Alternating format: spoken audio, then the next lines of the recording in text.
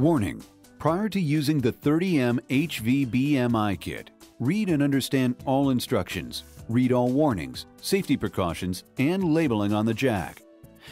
Failure to follow instructions listed may result in serious injury.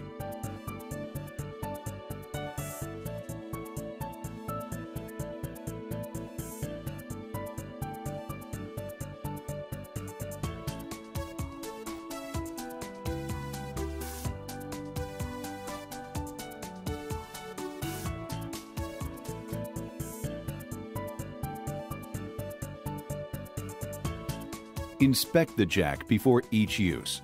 Verify that parts are not worn, bent, or missing. If so, do not use the jack. Obtain replacement jack.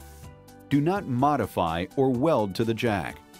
Do not use it for anything other than its intended purpose of lifting a wheel to change a tire on the HMMWV family of vehicles.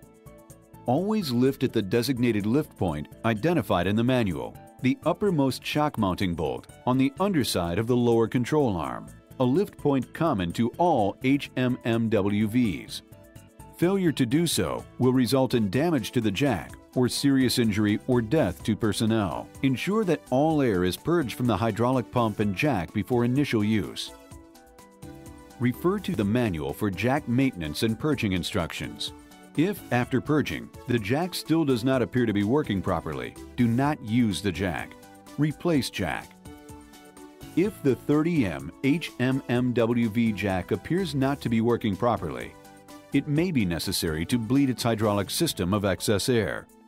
To do so, simply pump the pump handle until the hydraulic cylinder on the 30M HMMWV has extended at least 3 inches. Tip the jack up on its nose until the hose fitting is pointing up. Release the pump valve. Compress the jack, forcing any air back to the pump. Then check pump fluid level.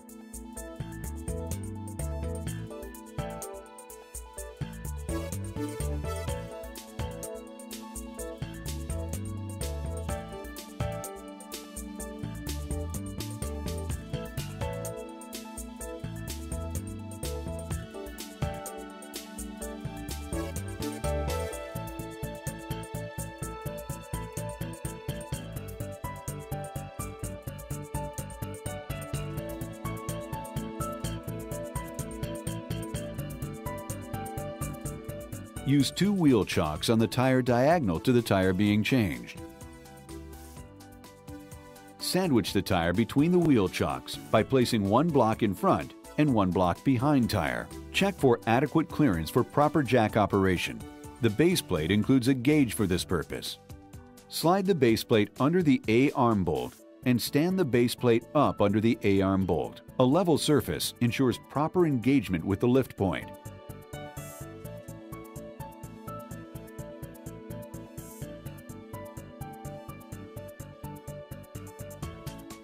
Turn the release valve on the hydraulic pump a half turn counterclockwise to release any pressure before attempting connection to the jack. Locate the 6 foot hydraulic hose and wipe any dirt, sand, snow, etc. from the hydraulic fitting on the end of the hose. Also, Wipe any debris from the hydraulic fitting on the jack coupler. Attach the 6 foot hose between the jack and pump by pushing the fittings together. Check to make sure the 30M HMMWV jack is fully lowered.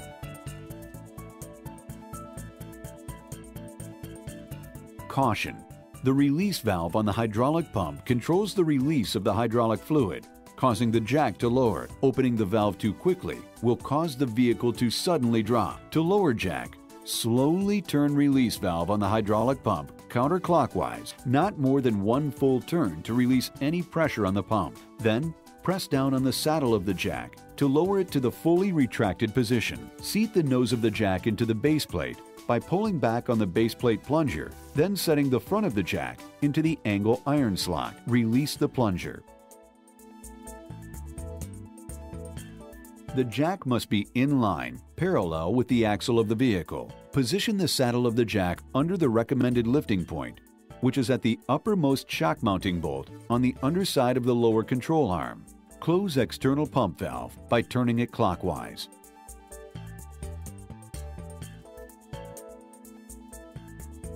Pump the handle on the external pump until the jack saddle has nearly reached the vehicle lifting point.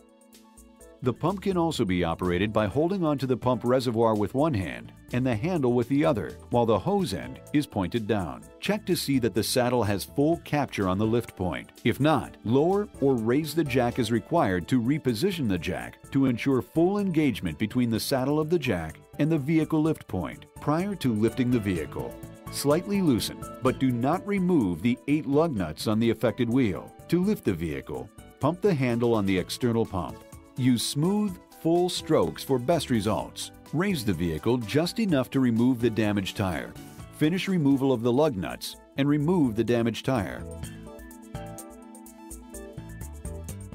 Install the replacement tire and tighten the lug nuts. There may be a need to raise the vehicle higher to install the replacement tire. Adjust the jack height to align these holes and the tire will go on much easier. Ensure all tools and personnel are clear from beneath the vehicle. Ensure hydraulic hose is clear of wheel being lowered. As soon as possible, notify unit maintenance to tighten lug nuts to proper torque. Slowly, turn the pump valve control release knob counterclockwise to lower the vehicle onto the ground. Rock the base plate up by lifting up at the base plate handle and then release. This will compress the jack enough to remove the jack from its lift point. Completely compress the jack before disconnecting the hose. Disconnect the hose from the 30M HMMWV jack. To disconnect the hose, locate the rotating collar connected to the jack cylinder fitting. Line up the U-shaped slot to the pin.